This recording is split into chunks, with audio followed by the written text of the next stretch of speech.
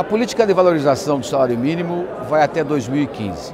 Apresentei um projeto de lei que retoma a discussão sobre essa política de valorização, trazendo a inflação e o PIB de dois anos atrás, ou seja, criando um mecanismo efetivo para que você possa ter um aumento real do salário mínimo.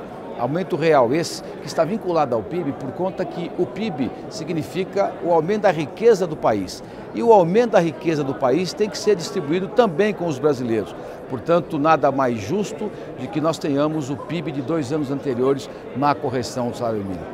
A diferença do que eu estou apresentando é que esse mesmo mecanismo, também com é, um aumento real para os aposentados do regime geral da Previdência. Hoje não existe uma regulamentação que estabeleça é, um critério de aumento para os aposentados do Brasil.